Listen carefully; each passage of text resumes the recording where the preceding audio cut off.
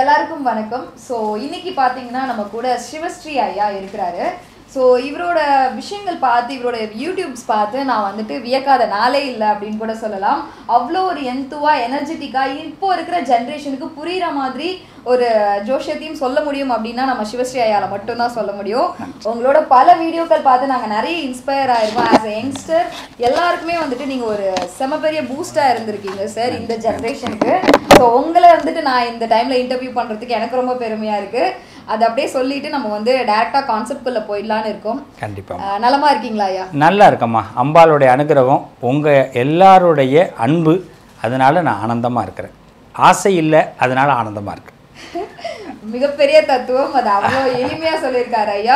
ரொம்ப ரொம்ப நன்றிங்க ஐயா. கண்டிப்பாக ஸோ இப்போ எனக்கு தெரிய வேண்டியதெல்லாம் வந்துட்டு ஃபட்டாஃபட்டா ஒரு வந்துட்டு ஒரு ரவுண்ட் இப்போ நம்ம போக போறோம். எனக்கு என்ன அப்படின்னா இப்போ சூப்பர் ஸ்டார் பேசுவார் இல்லைங்களா? அவரை மாதிரி இப்போ நீங்க வந்து எங்களுக்காக பண்ண போறீங்க. ஓ ஏப்பா. அவரோட வேகம் எப்படி இருக்கும் நம்ம எல்லாருக்குமே தெரியும். ஸோ அதை விட ஸ்பீட் ஐயா இப்போ வந்து அவர் எப்படி பண்றாரு அப்படின்றத பார்க்கலாம். எனக்கு என்ன தேவை அப்படின்னாங்க ஐயா இப்போ டுவெண்ட்டி டுவெண்ட்டி த்ரீ வந்து நியூ இயர் நம்ம செலிப்ரேட் பண்ண போறோம். ஆல்மோஸ்ட் டுவெண்ட்டி டுவெண்ட்டி டூவோட எண்டுக்கு வந்தாச்சு. ஸோ இந்த நியூ இயர்ல வந்துட்டு எல்லாருக்குமே வந்து ஆஸ்ட்ராலஜியை பொறுத்த வரைக்கும் பார்த்தீங்கன்னா ஏ ராசிக்கு எப்படி இருக்கும் இந்த வருஷம் எப்படி இருக்கும் அப்படின்ற மாதிரி ஒரு கியூரியாசிட்டி இருந்துட்டே இருக்கும். ஸோ அதை வந்துட்டு எப்படின்னா நம்ம நிறைய பேசியிருப்போம். நிறைய பேசியிருப்பாங்க. லைக் நம்ம அந்த ராகு கேது அதை பற்றிலாம் நம்ம நிறைய பேசியிருப்போம். பட் ஆனால் எனக்கு என்ன வேணும் அப்படின்னா இன்னைக்கு உங்கள்கிட்டேருந்து ஒரு ஒரு ராசி பற்றியும் ஒரே வார்த்தையில் இந்த ராசிக்காரங்க இந்த இந்த வருஷம் எப்படி இருப்பாங்க? அப்படின்னு ஒரே வார்த்தையில் வேணுங்க ஐயா. அதாவது ரொம்ப டஃப்பான கொஸ்டின் கேட்கறதுக்காகவே கடவுள் உங்களை அப்படி அனுப்பி வச்சிருக்காருன்னு நினைக்கிறேன். ஏன்னா மக்கள் விரும்புகிறதும் அந்த ஒரு வார்த்தையில் தான் விரும்புகிறாங்க கண்டிப்பாக என் சகோதர சகோதரிகளுக்கு நண்பர்களுக்கு இதை விட ஒரு அழகாக சொல்ல முடியாது. ரொம்ப சந்தோஷமா. நீ நினச்ச ஒரு விஷயத்தை நான் பதிவு பண்ணுறேன் எந்த ராசியிலேருந்து ஆரம்பிக்கணும்? நீயே ஆரம்பி பார்ப்போம். ஆமாம் ஒரு ராசின்னு சொன்னாங்கல்ல இப்போ நம்மளே அந்த எந்த ராசியிலேருந்து நம்மளே முடிவு பண்ணுவோம்? எங்கேருந்து ஆரம்பிக்கிறீங்க? நம்ம அந்த வரிசை பிரகாரமே வரிசைப்படியே ராசி உள்ள போயிடுவோம்.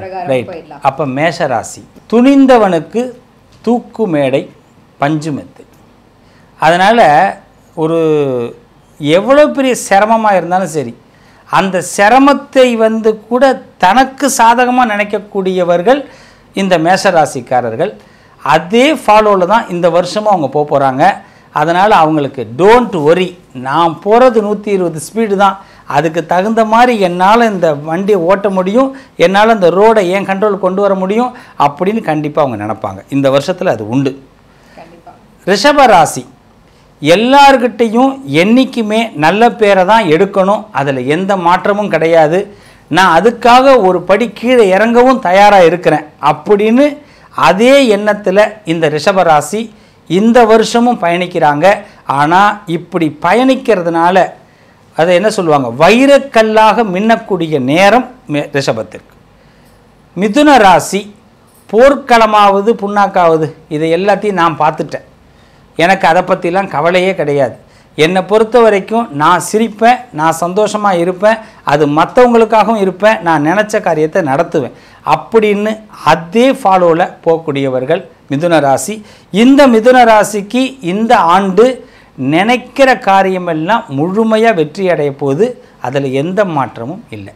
கடகராசி புன்முறுவலுக்கு சொந்தக்காரர்கள். பல பேருடைய அழுத்தங்களில் வேதனைகள் அவங்களுக்கு இருக்கும். ஆனால் அதையெல்லாம் கொஞ்சம் கூட காட்டிக்காமல் இந்த வருஷத்துலேயும் அதே புன்னகையோட உலக அழகி போல உலக அழகன் போல ஒரு வலம் வரக்கூடிய அருமையான வருஷம். சிம்ம ராசி எதிர்நீச்சலுக்கு சொந்தக்காரவங்க. நாகேஷ் சாருடைய படம் பல பேருக்கு தெரியும்.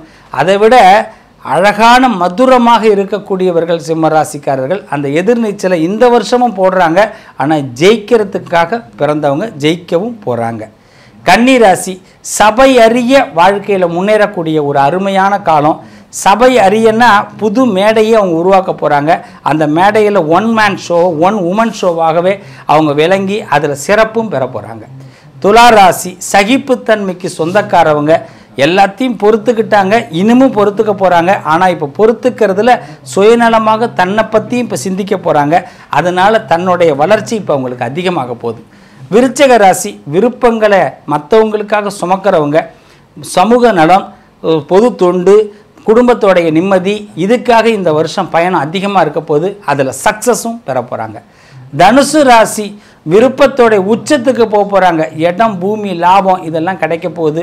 ஒரு விஐபிக்கு விசுவாசமாக இருந்து முன்னேறக்கூடிய காலம். விசுவாசத்துக்கு சொந்தக்காரர்கள் தனுசு ராசிக்காரர்கள். அந்த விசுவாசமே அவங்க வாழ்க்கையில் முன்னேற்றத்தை கொடுக்க போகுது. மகர ராசி மகத்துவமான ராசி. மனசு என்றைக்கும் மற்றவங்களை கோண வைக்கக்கூடாதுன்னு தியானத்திலையும் தியாகத்திலையும் முதன்மையாக விளங்கக்கூடியவர்கள். அதே தியாகம் தியானம் இந்த வருஷமும் கண்டினியூ ஆகுது. அதனால ஒரு படி முன்னேற்றம் ரீ ரிலீஸ் பண்ணுற மாதிரி லைஃப்பையே ஒரு நம்மளோட வாழ்க்கையில் மாற்றி அமைக்க போகிறாங்க கும்பராசி குதூகலத்துக்கு சொந்தக்காரர்கள். கும்பராசிக்காரர்கள் குடும்பத்திற்கும் குடும்ப நண்பர்களுக்கும் நன்மைகளை விளைவிக்கணும்னு தன்னையே அர்ப்பணித்து கொள்ளக்கூடியவர்கள். அப்படி அர்ப்பணிக்கக்கூடிய கும்பராசிக்கு இது அருமையான நேரம் கோடீஸ்வர யோகம் பெறக்கூடிய நேரம். நல்ல சந்தான பாக்கியம் சமத்துவ பாக்கியம் இது எல்லாமே கிடைக்கும். மீன ராசி மிரட்சி மீண்டு வந்திருக்கிறாங்க. இந்த இடத்துல நான் யார் அப்படின்னு காட்டக்கூடிய அருமையான நேரம். நான் யாருங்கிறது அகம்பாவ சொல் அல்ல தன்னை புரிந்து கொள்ளக்கூடிய சொல். அந்த புரிந்து கொள்ளக்கூடிய சொல்லை உலகத்திற்கு காட்ட அருமையான நேரம் மீனத்துக்கு. ஆக பன்னெண்டு ராசிக்கும் செழிப்பான நேரமா ஹண்ட்ரட் பர்சன்டேஜ் எல்லாமே சூப்பராக இருக்குது ஆனால் எல்லாத்துக்கும் ஒரே ஒரு மைல்கல் ஒரு புள்ளி ஒன்று இருக்குது அது என்னென்னா நம்மளுடைய மனசு. கடவுள் எல்லாத்துக்கும் கொடுக்க தயாராக இருக்கார். எல்லாத்தையும் வாங்க நம்ம தயாராக இருக்கிறோம். அதே நேரத்தில் இந்த மனசை கரெக்டாக நம்ம நினைக்கிற மாதிரி பிடிச்ச மாதிரி வாழுங்க என் நண்பர்களே. பிடிச்ச மாதிரி வாழுங்க. உங்கள் மனசுக்கு பிடிச்ச மாதிரி வாழுங்க. நிம்மதியாக நிறைய நிம்மதி இருக்கும். ரெண்டாயிரத்தி இருபத்தி மூணு அப்படி தான் நீங்கள் பாருங்கள் பிடிச்ச மாதிரி அவங்க கேள்வி கேட்டாங்க உங்களுக்கு பிடிச்ச மாதிரி தான் கேட்டாங்க. அதுதான் அந்த பதில் வந்திருக்கு. ரொம்ப நன்றிங்க. ரொம்ப நன்றி. நான் எதிர்பார்த்த மாதிரியே நீங்க வந்து ஃபட்டாஃபட்டா நீங்க வந்து டக்கு டக்கு டக்குன்னு அந்த ராசிகளுக்கான பலன்களை சூப்பரா சொல்லிட்டீங்க. ஸோ. இதே மாதிரி விஷயங்கள் தான் நாங்க உங்கள்ட்ட இன்னுமுமே எதிர்பார்த்துட்டு இருக்கிறோம். இந்த மாதிரியான வீடியோஸ் நிறைய நீங்க கொடுக்கணும் அப்படின்னு நிறைய பேசுவோம் நல்லதை பேசுவோம் நண்பர்களோடு நிச்சயமாக பேசுவோம். வாழ்த்துக்கள். வாழ்க வளமுடன். நல்லதே நடக்கும்.